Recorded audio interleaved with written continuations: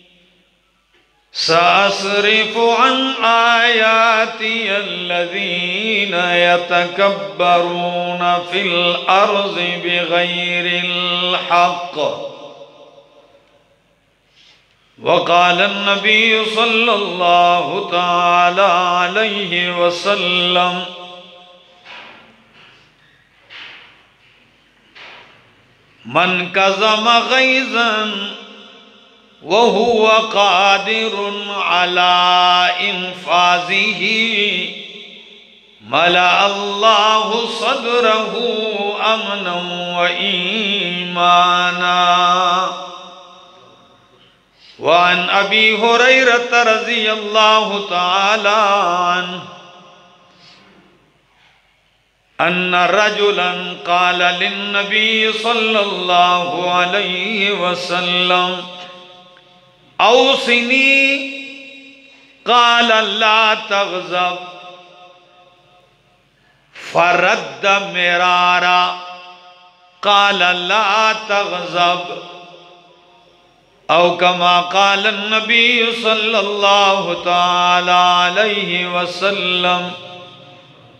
सुबहान रब्बिक रब्बिल इज्जति अम्मा यसिफून वसलामुन अलल मुरसलीन।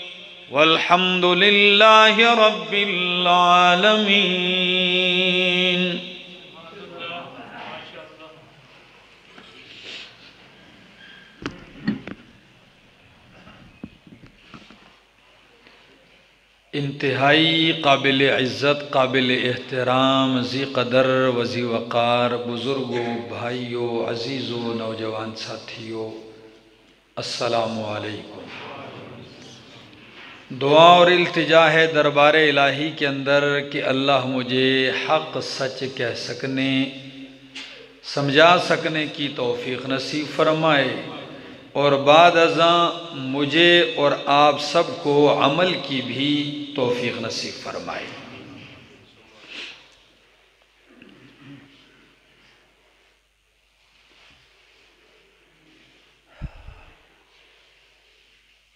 आज एक मुख्तलिफ़ किस्म का उनवान आपके सामने ज़िक्र करूँगा।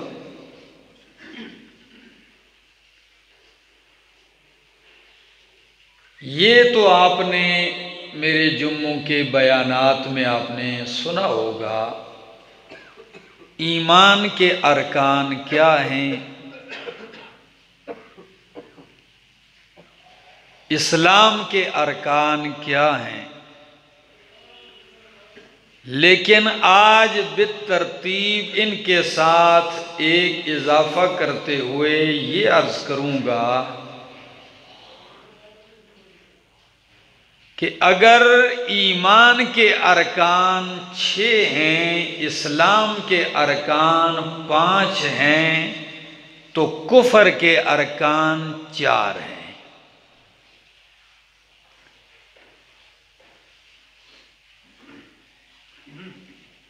समझने की ज़रूरत है और इसे याद करने की ज़रूरत है। ईमान के अरकान, ये तो हदीस जिबरील के अंदर मैंने ज़िक्र भी किया कि जिबरील ने नबी सलात वसलाम से पूछा कि ईमान क्या है? तो आपने अरकान ईमान छह ज़िक्र किए। कितने? छ। ईमान के अरकान छह हैं, याद कर लीजिए। अंतो में बिल्लाही व मलाइकती व कुतुबी व रुसुली वलियमिल आखिरी।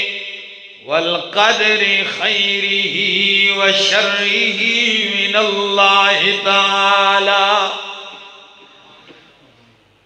ईमान के अरकान में से पहला रुकन है अंतुमिन बिल्ला कि तू अल्लाह पर ईमान ले आए।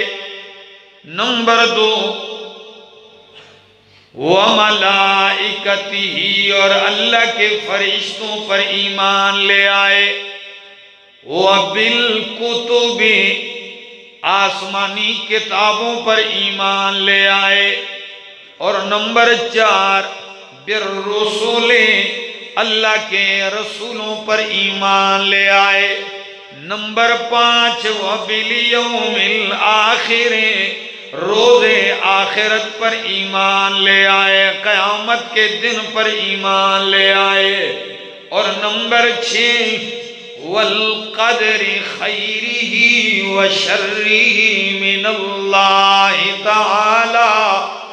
कजाओ कदर पर ईमान ले आए कि कजाओ कदर का मालिक कौन है? अच्छी बुरी तकदीर किसकी तरफ़ से है? और ये तकरीबन ये अरकान तो कुरान भी ज़िक्र करता है। सूरत बकरा के आखिर में अल्लाह का कुरान ज़िक्र करता है। आमन रसूल बिमा उनजिल वल मुमिनून।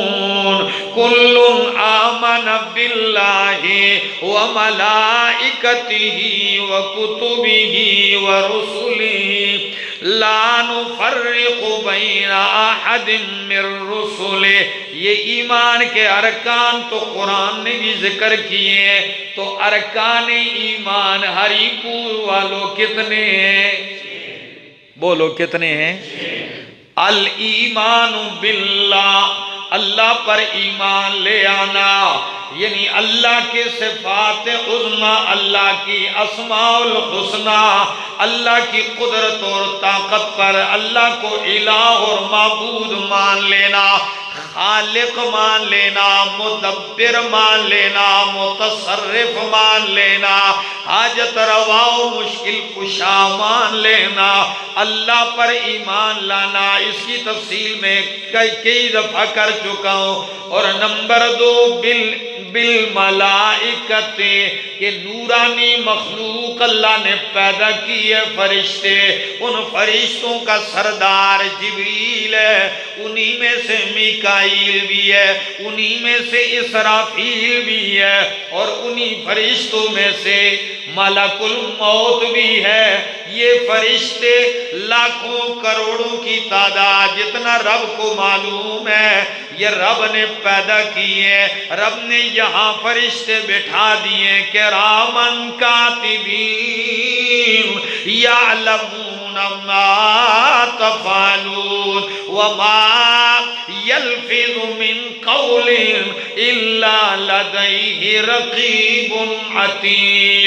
जो बंदा भी कोई लफ्ज जबान से निकालता है, अल्लाह ने फरिश्ते बिठाए हैं, वो उसे लिख लेते हैं। तो फरिश्तों पर ईमान। अच्छा। नंबर तीन किताबों पर ईमान तौरात इंजील जबूर सहीफे। और कुरान करीम, इन सारी किताबों पर हमारा ईमान है। ईमान का मतलब क्या है? तौरात पर ईमान, इंजील जबूर पर ईमान का मतलब क्या है? हरिपुर वालों, उन पर ईमान का मतलब ये है कि अपने अपने दौर में, अपने अपने नबी पर अल्लाह ने ये किताबें नाजिल की और ये उस दौर में हक थी। क्या थी? हक थी और उन लोगों के लिए इसके मुताबिक चलना ज़रूरी था। हाँ तहरीफ के बाद, तौरात में तहरीफ के बाद, इंजील में तहरीफ के बाद, ज़बूर में तहरीफ के बाद, हम जो बातें कुरान मुकद्दस तायद करता है, हम उसको तस्लीम करते हैं। और कुरान मुकद्दस जिन बातों पे गिरफ्त करता है कि यहाँ इन्होंने तहरीफ की है, रद्द बदल किया है, हम उसे तस्लीम। लेकिन उन किताबों पर हमारा ईमान इजमाली है कि अल्लाह की किताबें थी, अल्लाह ने उतारी थी, हमारा इस पर ईमान है। और कुरान पर ईमान जो है, वो ईमान तफसीली है। क्या है?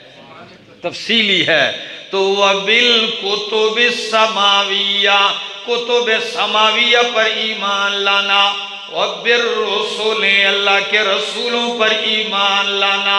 आदम सलाम से लेकर इमामुल अंबिया मोहम्मद रसूलुल्लाह सल्लल्लाहु अलैहि वसल्लम तक अल्लाह ने जितने नबी और रसूल भेजे हैं, सारे हक हैं सारे सच्चे हैं। हमारा सब पर ईमान है। किसी एक नबी और रसूल की भी तोहीन करना, ये कुफर है। क्या है? कुफर है। तो ईमान बिर रसुल और नंबर पाँच, ईमान बियोमिल आखिरा। आखिरत वाले दिन पर ईमान लाना, वो कौन सा दिन है जिसे कुरान कभी कहता मालिकी यौमिद्दीन। अल्लाह रोज़े जजा का मालिक है। कभी सूरह बकरा में यूँ फरमाता है वह बिल आखिरत हम यूकिन कभी कुरान कहता है अल्हा तुम अल्हा कभी कुरान कहता है अल कार्या तुम अल कार्या अदरा कमल कार्या कभी कुरान कहता है इन यौमल फ़सल का नमी खाता कि फैसले का दिन मुकर्र है।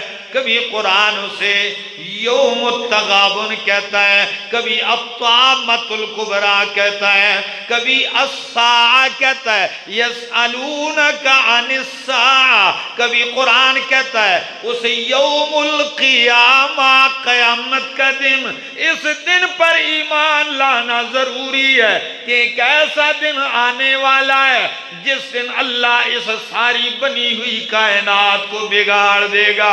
अल्लाह इसे नेस्तो नाबूद कर देगा।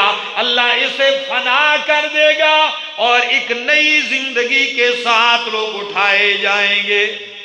पहले सारे फना होंगे और फिर सारे दोबारा उठाए जाएँगे। इस दिन पर ईमान लाना ये ईमान के अरकान में से है। और छठा रोकन ईमान का अल ईमान बिल वल कदर कि तकदीर किसके इख्तियार में है? अल्लाह के इख्तियार में। अच्छी कर दे किसी की या बुरी कर दे, ये किसके इख्तियार में? ये अल्लाह ही के इख्तियार में है। तो हमारा ईमान है तकदीर पर। हाँ बंदा तदबीरें करता है। क्या करता है? तदबीरें करता है, साई करता है, कोशिश करता है। लेकिन जब रब की तकदीर सामने आती है तो तकदीर पर तकदीर, तदबीर पर क्या आ जाती है? गालिब आ जाती है। वल्लाह गालिब अला अमरी ही वला किन्ना अक्सर सिलायालम ये छह अरकान ईमान है। अब पाँच अरकान इस्लाम है। वो अरकान इस्लाम क्या है? दो बातों की गवाही देना। पहला, रुकन इस्लाम। अशहद अशहद अन्ना मुहम्मद रसूलुल्लाह। कि इस बात की गवाही के अल्लाह के सिवा कोई इला नहीं है। और मोहम्मद सल्लल्लाहु अलैहि वसल्लम अल्लाह के बंदे और रसूल है। इस बात की गवाही देना, जबान से इकरार करना, ये इस्लाम के लिए ज़रूरी है, ये पहला रुकन है। और दूसरा रुकन इस्लाम का वो है इकाम सला नमाज़ कायम करना। इस्लाम का दूसरा रुकन क्या है? ये जो छह अरकान ईमान ज़िक्र किए, बुखारी और मुस्लिम की हदीस है। और ये पाँच जो अरकान इस्लाम है, ये भी बुखारी और मुस्लिम की हदीस है सही। इस्लाम के अरकान कितने हैं? बोलो, पाँच हैं। कलम शहादत की गवाही, यानी दो शहादतें, अशहद अल्लाह इलाहा और अशहद अन्ना मोहम्मद रसूलुल्लाह। नंबर दो एकाम सलात, नमाज़ कायम करना। कितना मामूली लोग इसको समझते हैं। हालाँकि इस्लाम के अरकान में से दूसरा रुकन क्या है? नमाज़ है। और हम नमाजों के मामले में कोई तो पक्की छुट्टी, न नीति थे ना कज़ा की थी। हाँ? किसी ने पूछा ना किसी चरसी से, भाई क्या करते? कहते हैं, ऐसा ना नीति, ना कज़ा की थी, ऐसा रगड़ रगड़ की पीती। एक तो वो तबका है, बिल्कुल छुट्टी, नमाज़ के मामले में। एक वो तबका है नमाज़ के मुकाबले, के मामले में, जिन्हें आप यूँ समझ लें कि जो रजा खान है। क्या है? जब दिल राज़ी हुआ पढ़ ली। है? आज बस मूड आया तो बस पढ़ ली। जब दिल चाह पढ़ ली, जब मूड नहीं जाए, एक वो तबका है। और एक तबका नमाज़ के मामले में है अख्तर खान जुमा खान। जुम्मा खान सिर जुम्मे वाले दिन कपड़े शपड़े तब्दील कर लेता है गुसल शुसल कर लेता है, खुशबू लगा के आ जाता है। नमाज़ सलाम सलाम किया, दो रखते पढ़ी और फिर तितर। चलो। और कोई तो जुमा खान नहीं, अख्तर खान, सिर ईद वाली नमाज़। एक ईद को मस्जिद में आया, ईदगाह में आया, लोगों से खूब गले मिला के इन शाह अगली रीते मिल सा एक वो तबका है। और एक तबका है इसमें मुतकासिलीन का। किसका? मुतकासिलीन का। ये मुतकासिलीन का जोहर की नमाज़ पढ़ी, असर के वक़्त, असर की पढ़ी, मगरब के वक़्त और मगरब की पढ़ी शाह के वक्त। ठीक है जी? और सुबह की नमाज़ पढ़ी, दस बजे। ये मुतकासिलीन है। कभी आठ बजे पढ़ी, कभी सात बजे पढ़ ली। ये क्या है? अल्लाह हमें इन सबसे बचाए और अल्लाह हमें मुकीम सला जो नमाजों को कायम करने वाले हैं। अल्लजीन युकीमून सला जिनकी नमाजें कायम है जिनकी नमाजों पर मुदावमत है, अल्लाह हमें वो बनाए। और ईमान के अरकान में से तीसरा रुकन ईता इज्जका जक़ात अदा करना। इस्लाम के अरकान में से तीसरा रुकन क्या है? जक़ात अदा करना। कितने ही लोग जक़ात को अपने ऊपर बोझ समझते हैं कितने ही लोग हैं जो जक़ात से बचने के बहाने तलाश करते हैं। आपको ये बहाने वाले मिलेंगे? कैसे मिलेंगे? ज़क़़त बंदे पर फ़र्ज़ होती है जब माल निसाब के बराबर हो या ज़्यादा हो और उस पर क्या गुजर जाए? साल गुजर जाए, बारह महीने गुजर जाए। तो अब कुछ सियाणे वो अल्लाह के साथ भी अपनी अकल का मुकाबला करते हैं दीन के साथ तो जैसे ग्यारह महीने होने लगते हैं ना तो कहते हैं अब साल पूरा होने वाला है, जक़ात फ़र्ज़ हो जाएगी। वो सारा माल बीवी को कहते हैं, मेरी तरफ़ से तुझे तोहफा है। सारा माल मेरा तुझे तोहफा हो गया। बीवी भी रख लेती है। अब उस पे जक़ात कब फ़र्ज़ होगी? साल पूरा होगा। अब जब उसके पास साल पूरा होने के करीब होता है तो वापस कहती, चलो मेरी तरफ़ तुसा गिफ्ट हो हाँ? आपने कुछ लोगों को देखा होगा जो आपस में ही तोहफे लेते देते रहते हैं। हाँ। सिर्फ़ इसलिए, मुझे एक सुनहरा मिला, उसने बड़ी काम की बात बताई है। कहता है, मैंने अपने बेटों से कहा है, बेटा, एक लाख रुपए भी कोल नहीं रखना। तो मैंने कहा, सुनहरा साहब, ये क्या हिकमत है? मैंने कहा, इनसे कब पैसे रखोगे तो जक़ात आएगी, आप पैसा पास आने ही ना दो, प्लाट खरीद लिया करो। क्या खरीद लिया करो? आप प्लाट ले लिया करो तो प्लाट ज़मीन के प्लाट के ऊपर आपके ऊपर क्या नहीं आएगी?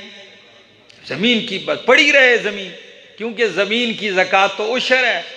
तो उशर प्लाटों में कौन गंदम बोता है? काश करता। है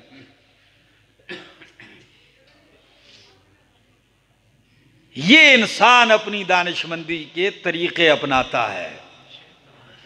लेकिन जिसके दिल में ईमान और अल्लाह की मोहब्बत होती है तो वो कहता है, सरे तस्लीम में खम है जो मिजाज यार में आए। अल्लाह तेरी रजा किसमें है? मेरी जान चाहिए मेरा माल चाहिए अल्लाह तुझे मेरी औलाद चाहिए रब्बा। अगर तू मुझसे जिस चीज़ का मुतालबा करेगा मैं पीछे नहीं हटूँगा। ये है। और ऐसा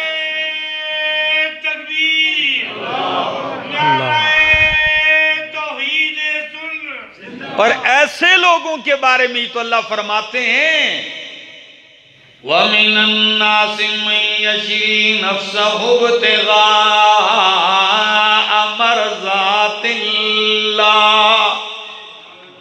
लोगों में से कुछ ऐसे भी हैं जिन्होंने अपनी जानें बेच डाली हैं अल्लाह पर, अल्लाह की रजा तलाश करने के लिए। अल्लाह, तू अपनी रजा मुझे दे दे, मेरी जान तू ले ले।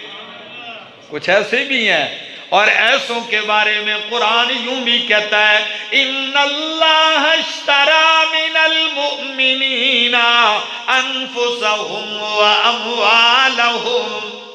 अल्लाह, कि अल्लाह ने मोमिनों से उनकी जान और उनके माल क्या कर लिए खरीद लिए हैं।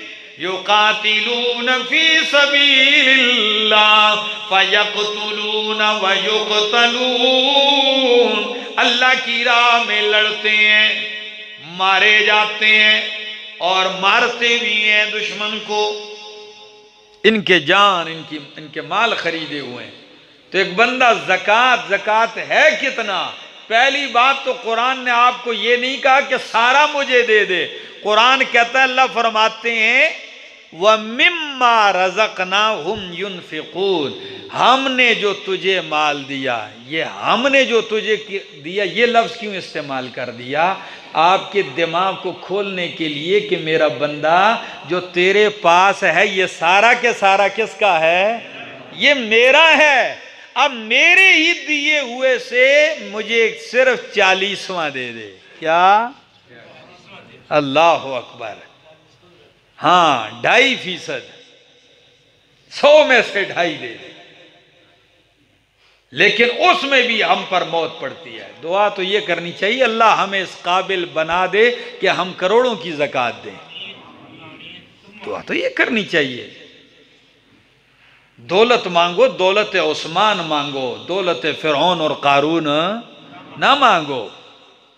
तो अरकान इस्लाम में से तीसरा रुकन जक़ात है। और चौथा रुकन वल हज हज बैतुल्ला है। ये चौथा रुकन है। अल्लाह ने माल दिया है, ताकत दी है इस्तात है, जा सकता है तो फ़ौरन पैसे ले और कहा चला जा? बैतुल्ला का हज करके आ जा। ये ज़िंदगी में एक दफ़ा फ़र्ज़ है। मनिस्तता इलही सबीला, जो जाने की ताकत रखता हो। चार अरकान इस्लाम और पांचवा रुकन इस्लाम में से वह सौ में रमजाना, रमज़ान का रोजा है। आने वाला है रमजानुल मुबारक का महीना। तो रमजानुल मुबारक के रोज़े ये अरकान इस्लाम में से पांचवा रुकन है। तो हरिपुर वालों, मेरी गुफ्तगु की इब्तदा के अरकान ईमान छः हैं, अरकान इस्लाम पाँच हैं। अब जरा आगे बढ़ता हूँ कि अरकान कुफर क्या है। तो कुफर के कितने अरकान हैं? चार। सुनने की बात है, कुफर के कितने अरकान? शेखुल इस्लाम इबन कयम रहमल्ला अपनी किताब अल फवायद में फरमाते हैं कि अरकानुल कुफर अरबातुन, कुफर के चार अरकान अल किबरू वल हसदु वल गजबु व शहवतु किबर, हसद वल गजबु गजब गुस्सा व शहवतु और शहवत। अरकान कुफर कितने हैं? चार हैं। एक रुकन उनमें से है अल किबरो तकबर बड़ाई इस्तेजाम नफ्स अपने आप को अजीम समझना और अपने अलावा बाकियों को क्या समझना? हकीर समझना, जलील समझना। और कुर्बान जाऊँ अल्लाह के पाक पैगंबर सल्लल्लाहु अलैहि वसल्लम ने अजीब तारीफ़ की है, किबर की। फरमाया, जिसके दिल में जर्रा बराबर भी किबर होगा, वो जन्नत नहीं जाएगा। कितना किबर?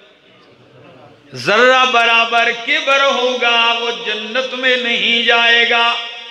साहब किराम रिजवानुल्लाह तजमईन ने फरमाया के पैगंबर, फिर तो बहुत मुश्किल है, क्योंकि हम में से हर एक चाहता है, मेरे कपड़े अच्छे हों। यकून लिबास हो हसन, कि लिबास अच्छा हो। और हर एक चाहता है कि उसके जूते आला हो। अगर अच्छे कपड़े, अच्छे जूते ये किबर है, फिर तो ये हम में से हर एक पसंद करता है तो हम तो डूब गए। फरमाया, नहीं नहीं, अच्छे कपड़े अच्छा लिबास अच्छा जूता पहनना ये किबर नहीं है, ये तकबर नहीं, तजम्मुल है। ये क्या है? ये तजम्मुल है, खूबसूरती है। और खूबसूरती को तो अल्लाह पसंद करता है। इस्लाम के दायरे में हो तो खूबसूरती को अल्लाह। इन अल्लाह जमील वयुहिब्बुल जमाल। अल्लाह जमील है और जमाल को पसंद करता है। अल्लाह पाक है और पाकी को पसंद करता है। तो कई एक बंदा कहे, जी तकबर ना आ जाए, मैल उठा के तो कपड़ों पे मल दे, जी। तकबर ना आ जाए, गंद उठा के तो दाढ़ी में डाल दे, हैं? तकबर ना आ जाए, साल के बारह महीने गुसल ना करे, जी। बालों में चमकना आ जाए कहीं। कईयों को आपने देखा होगा ना? तकबर ना आ जाए, पंद्रह फीट लंबे कर दिए बाल। और उसको साबन से धोना भी अब मुमकिन नहीं है। नहीं, ये गंदगी है। पलीती को आजजी नहीं कहना चाहिए। पलीती न दीन में है, न दीन को पसंद है। इन अल्लाह युहिब्बुल मुतहिरीन अल्लाह पाक साफ़ रहने वालों को पसंद करता है। कलमा भी पाक दिया, अकीदा भी पाक होना चाहिए, अखलाक भी पाक होना चाहिए, वजूद भी पाक होना चाहिए, अमल भी पाक होना चाहिए, लिबास भी पाक होना चाहिए। गंदगी अल्लाह को पसंद नहीं है, लेकिन हमारे यहाँ तकसीम यह है कि पाक रहने वालों को लोग कहते हैं तकबर वाला है और गंदे को कहते हैं, ये अल्लाह का दोस्त है। ये अल्लाह का वली, ये गंदे को उठा के कहते हैं। तो कुफर के अरकान में से अल किबरो तो सैदुल्लंबिया से जब साहबा ने सुना कि किबर वाला जन्नत में नहीं जाएगा तो फरमाया, अल्लाह के पैगंबर, हम में से तो हर एक ये पसंद करता है, लिबास आला, बदन आला, कपड़े पाकी जाओ, पैजार पाकी जाओ, फिर वो कैसे जन्नत में जाएगा? फरमाया, नहीं, ये तजम्मुल है तकबर ये बतरुल हक वगम तुम नास। हक बात को ठुकरा देना और लोगों को हकीर समझना, ये तकबर है। हक बात को ठुकरा देना यह तकबर है। और अगर आप कुरान मुकदस का मुताला करें तो आपको पता चल जाएगा कि वाकई लोगों ने हक तकबर की वजह से ठुकराया भी है। अपने आप को बड़ा समझा है, ठुकराया है। जब शैतान से कहा फरिश्तों की इस मैयत में के आदम सलाम को सजदा करो। तो उसने क्या फलसफा जाड़ा? कुरान कहता है आबा वस्तकबरा वकान मिनल काफिरीन। अबा इनकार किया वस्तकबरा और उसने तकबर किया। क्या किया? तकबर किया बड़ाई इख्तियार की। और अपने आप को इतना बड़ा समझा दलील देने लगा अल्लाह के सामने कुरान के मुकाबले में अपनी अकल दौड़ा के कहने लगा, अना खैरुम खलक तनी मिन्नार खलक मैं इससे बेहतर हूँ, तूने मुझे आग से पैदा किया और इसे मिट्टी से पैदा किया मिट्टी नीचे को झुकती है, आग ऊपर को उठती है। तो सजदा तो इसको करना चाहिए। तकबर किया तकबर अजाजी रा खवार कर्द बजंदा ने लानत गिरफ़्तार कर्द तकबर ने अजाजील को ख्वार किया है, लानत की जंजीरों में गिरफ़्तार किया है तो तकबर अलकिबरू वल हसदु और हसद, ये बीमारी बहुत ज़्यादा है, हसद वाली। अल्लाह हमारे दिलों को हसद से पाक कर दे। क्योंकि हसद वाला कभी चैन नहीं पाता। किसी अहले इलम ने क्या ही बेहतरीन बात फरमाई है कि आसमानों में सबसे पहला गुनाह अल्लाह की नाफरमानी जो की गई है, वो हसद की वजह से की गई है। आसमानों में सबसे पहला गुनाह कौन सा हुआ है? अव्वल जम्बिन उसी अल्लाह भी पहला गुना जो आसमानों में किया गया है, वो है अल हसदो के आदम सलाम से हसद किया इबलीस ने। ये हसद है। और इस धरती पे, ज़मीन पे सबसे पहला गुना हसद हुआ है कि आदम सलाम के एक बेटे ने काबिल ने हाबिल से क्या किया? हसद किया और उसको फिर नतीजा क्या निकला कि कत्ल कर दिया? और हम इसको समझते ही कुछ नहीं है। अब हसद नाम किस बला का है? इमाम रागिब रहे फरमाते हैं, हसद नाम है कि किसी को नेमत में बर्दाश्त ना कर सकना। इस बात की तमन्ना करना कि फुला को जो नेमत मिली है, ये इससे जाया हो जाए, छिन जाए। अब अल्लाह ने किसी को नेमत दी है तो आपको क्यों आग लगी है? क्यों इस तमन्ना में पड़े हो कि ये नेमत इससे क्या हो जाए? छिन जाए। अल्लाह। कुरान तभी तो कहता है जब कुरान मुकम्मल होने लगता है। आखिरी सूरतें हैं तो कुरान क्या कहता है? कुल आऊज बिरबिल फलक मिन शर्र मा खलक व मिन शर्र गासिकिन इजा वकब व मिन शर्र नफासात फिल उकद व मिन शर्र हासिदिन इजा हसद। अल्लाह, मैं आपकी पनाह में आता हूँ, मिन शर्र हासिदिन इजा हसद। हसद करने वाले के शर से जब वो हसद करने लगे, क्योंकि हासिद का हसद और उसका शर, ये इंतहाई मुजिर है। तो अल्लाह ने फरमाया, मेरा बंदा, तीस पारे का इलम तूने सीने में महफूज कर लिया तो ये ना ख्याल करके लोग तो इसे सारे ही प्यार करेंगे। हासिद भी होंगे, दुश्मन भी होंगे, साहिर भी आएँगे। तो इसलिए इतना बड़ा खजाना रखते हुए तू मेरी पना में रहा कर, मिन शर्र हासिदिन इजा हसद। और शेखुल इस्लाम इबन तैमिया रहमल्ला फरमाते हैं अल हसदु मरजुम मिन अमराजिन नफ्सी व हुवा मरजुम गालिबुन। हसद ये दिल की बीमारियों में से बहुत बड़ी बीमारी है, ये गालिब है। और अरब तो एक कहावत मशहूर है वो तो कहते हैं, मा खला जसदुन मिन हसदिन। कोई जसद हसद से खाली नहीं है। फ़र्क इतना है अल करीम शरीफ आदमी उसको छुपाएगा, कमीना उसको ज़ाहिर करेगा। किसी शरीफ आदमी के दिल में हसद आ भी जाए तो उसको क्या करेगा? दबाएगा, रोकेगा, चलो अपने आप को मलामत करेगा। दब जा। और कमीने के अंदर हसद पैदा हो जाए, वो उसको ज़ाहिर करेगा। अपने अमल से, कभी जबान से नहीं रह सकेगा वो। तो कुफर के अरकान में से एक रुकन क्या है? हसद है। आपको एक अजीब बात बताऊँ।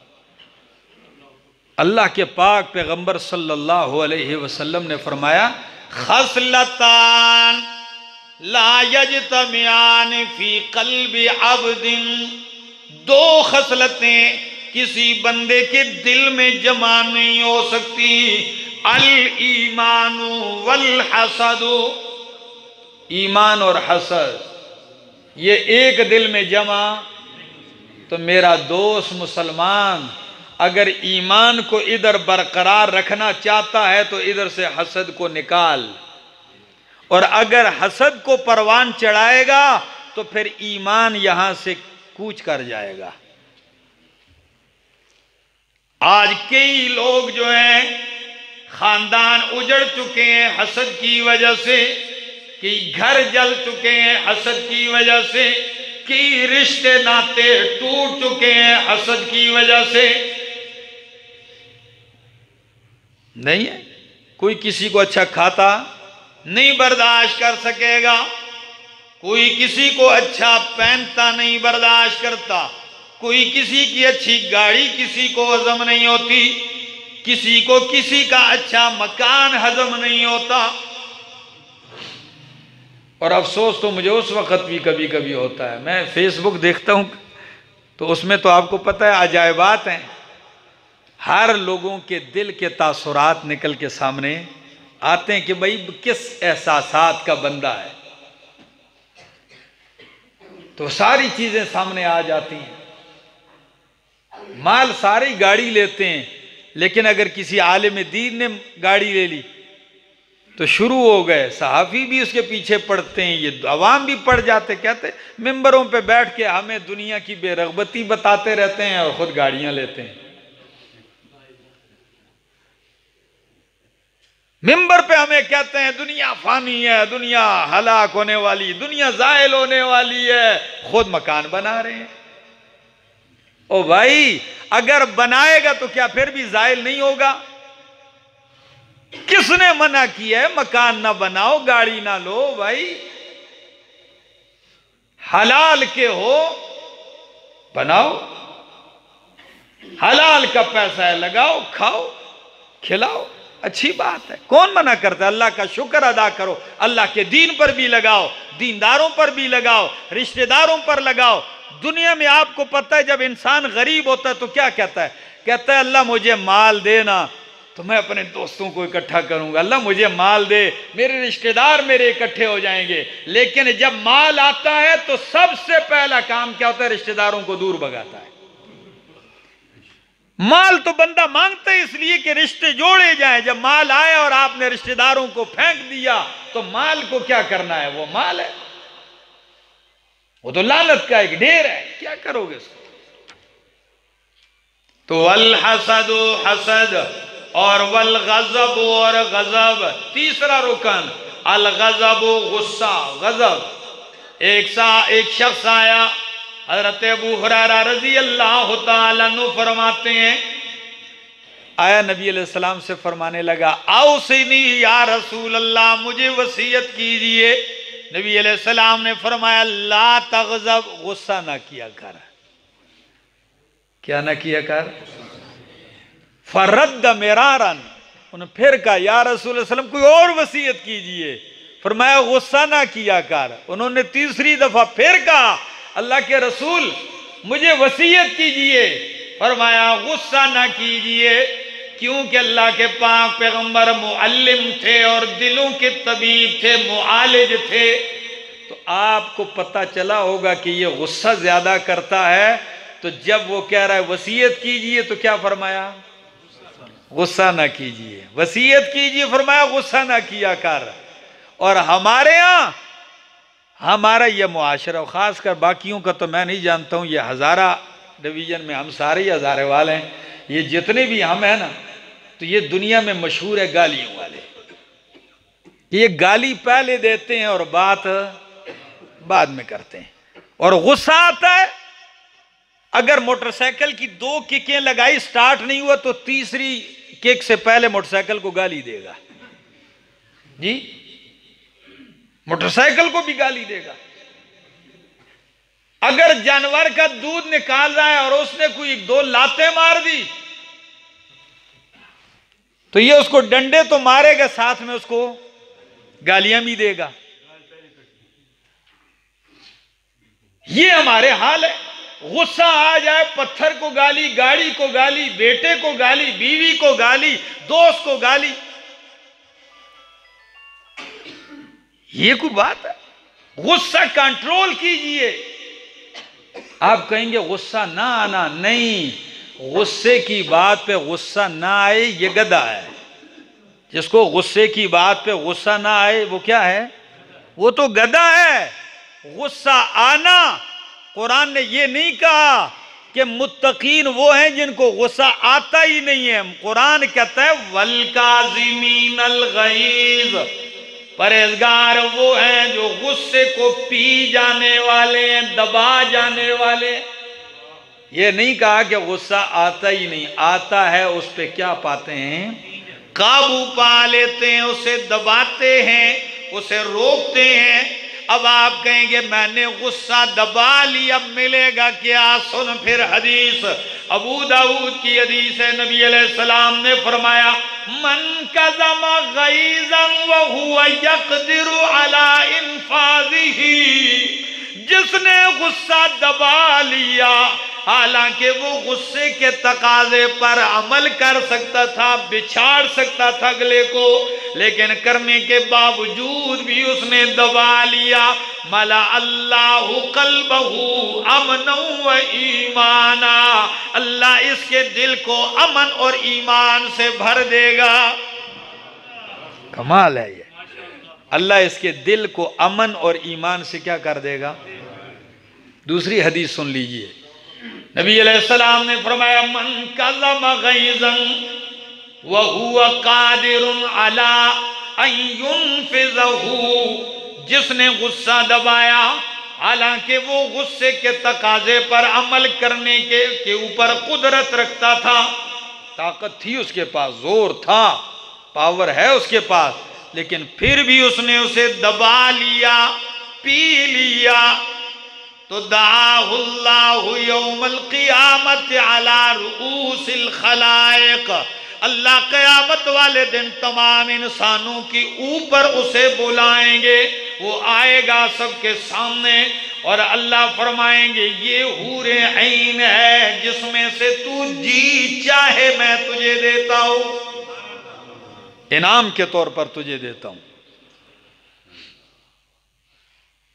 गुस्सा दबा लीजिए।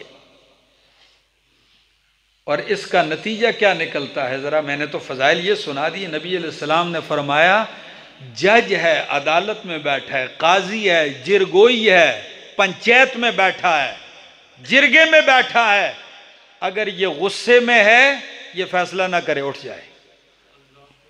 अगर ये गुस्से की हालत में है तो जब तक ये गजब में है, ये फैसला क्यों? इसलिए कि गजब की हालत में ये अदल नहीं कर सकेगा। रुक जाए। इंसाफ का तकाजा पूरा नहीं कर सकेगा। और कई लोग, उनका गुस्सा, उनका गजब, अल्लाह माफ़ करे, वो 24 घंटे 12 बजे हुए होते हैं उनके ऊपर। 24 घंटे वो गुस्से से बिल्कुल ऐसे पुर रहते हैं। अगर आपने छुआ तो बस फट जाएगा। ये भी कोई ज़िंदगी है। गुजारा करना चाहिए। इनशाला मैं इसका नतीजा ज़िक्र करता हूँ कि ये चार कुफर के अरकान कैसे हैं, ये इनशाला मैं वजात कर रहा हूँ। फरमाया, चौथी चीज़ अरकान कुफर में से शहवत है। क्या है? शहवत है। यही शहवात इसे बदकिरदारी पे मजबूर करते हैं। यही शहवात इसे गलत फ़िल्में देखने पर मजबूर करती हैं। यही शाहवात इसे बदनज़री पे मजबूर करती हैं। यही शाहवात इसे जना जैसे बद अमल के ऊपर मजबूर करती हैं।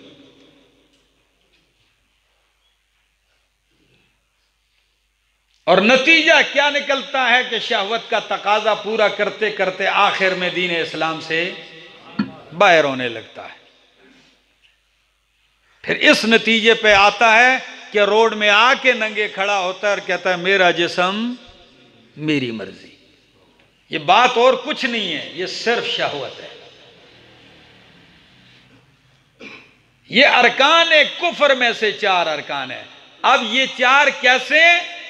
अल्लामा इबन कयम फरमाते हैं फल किब्रु यमनाउल इनकियादा। जिसमें तकबर होगा, वो हक कबूल नहीं करेगा।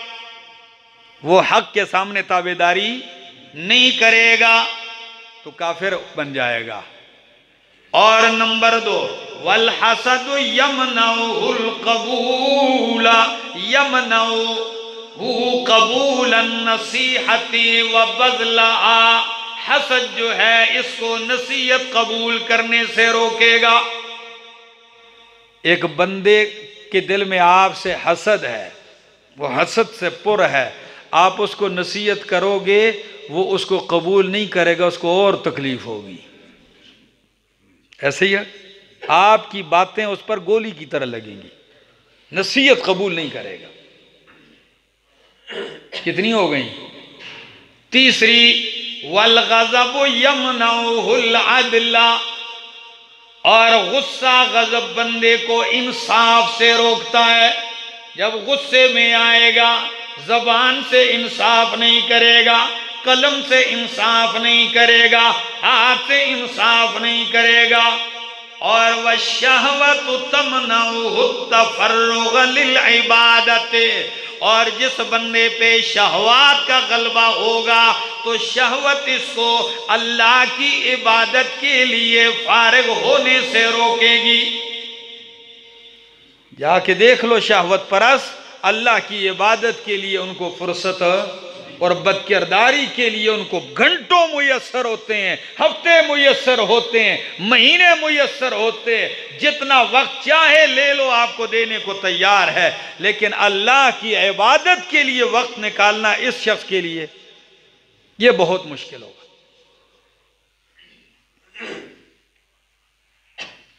और इसका दूसरा नतीजा कि अगर आपके दिल से तकबर खत्म होगा, आप में ताबेदारी आएगी।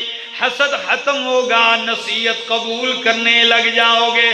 गजब खत्म होगा, इंसाफ को थाम लोगे और शहवत को काबू करोगे। तो अल्लाह की इबादतों के लिए औकात फारे करने का मौका मिल जाएगा।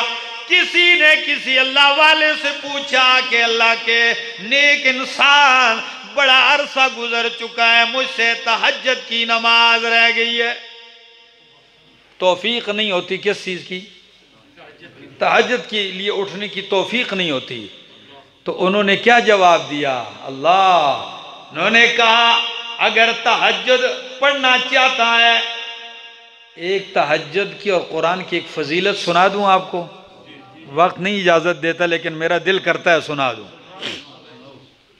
दिन में आप कुरान पढ़ो, फरिश्ते सुनने आ जाते हैं।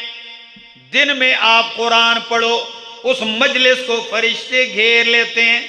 आपके सामने फरिश्ते दाई जाने बाई जाने फरिश्ते आ जाते हैं। लेकिन तहजद में कुरान पढ़ो तो अल्लाह के पाक पैगंबर ने फरमाया बेहती की सही हदीस है कि तहजद में जब कुरान पढ़ो तो खूब मिसवा कर लिया करो। इसलिए कि उस वक़्त कैफियत बदल जाती है, फरिश्ता पास नहीं रहता, बल्कि तहजद में कुरान पढ़ने वाले के मुँह पे फरिश्ता अपना मुँह रख लेता है।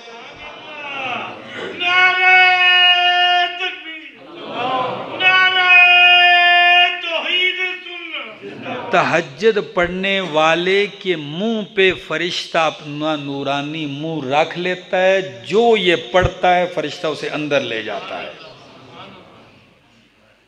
तो इसने पूछा कि अल्लाह के नेक बंदे, मुझे तहजद की क्या नहीं हो रही? तोफीक नहीं हो रही? तो जवाब सुन लीजिए, फरमाया अल्लाह तासी बिल बिन इतनी बात है, ज़्यादा नहीं। दिन के उजाले में उसकी बगावत ना फरमानी गुना छोड़ दे। रात के अंधेरे में वो तुझे अपने सामने खड़ा कर देगा। दिन के उजाले में मासीत तर कर दे। रात के अंधेरे में वो तुझे सामने खड़ा कर देगा। कहेगा, खलवतों के औकात हैं, मेरी तजल्लियात और रहमतों के नजूल का वक्त है। बांग मेरा बंदा इस वक्त जो तू मांगेगा, मैं तुझे दूँगा। ये ख़ास वक्त है। किसी अल्लाह के नेक बंदों से किसी ने पूछा, दुनिया प्यारी है? उनने कहा, हम दुनिया में एक लम्हा भी ज़िंदगी ना पसंद करें अगर यह तहजद का वक्त ना होता। अगर हम दुनिया में ज़िंदा रहना चाहते हैं तो इसलिए चाहते हैं कि हमें इस लज्जत से छुटकारा पसंद नहीं है। रह नहीं सकते इस तहजद की, इस लज्जत से। अगर ये लज्जत ना हो तो फिर हम दुनिया में रहना भी पसंद ना करें। जिसको अल्लाह बुढ़ापे में तोफीक दे दे, उठे। बहुत बड़ी बात है। लेकिन अगर किसी को अल्लाह जवानी में यह तोफीक दे दे, जी खूबसूरत और कड़ियल जवानी में अल्लाह किसी को ये खास रुतबा अता कर दे कि वह उठे और रब के सामने तहजद के लिए खड़ा हो। दो, चार, आठ रखते तक। आप पढ़ लें, फिर इसके कमालात देख लेना आप।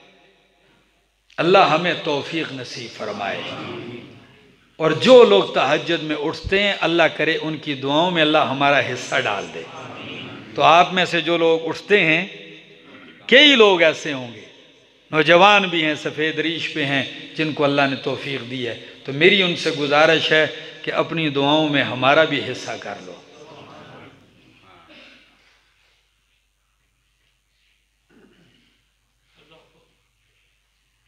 तो मैं बात कर रहा था। कि जब इंसान कुफर के इन अरकान को तर कर देता है, ईमान की लज्जतें, महब्बतें नसीब होने लगती हैं। अल्लाह मुझे अमल की तोफ़ी अता फ़रमाए और अल्लाह अरकान ईमान, अरकान इस्लाम पे अल्लाह इस्तकामत नसीब फरमाए और अरकान कुफर से अल्लाह हमें महफूज फरमाए।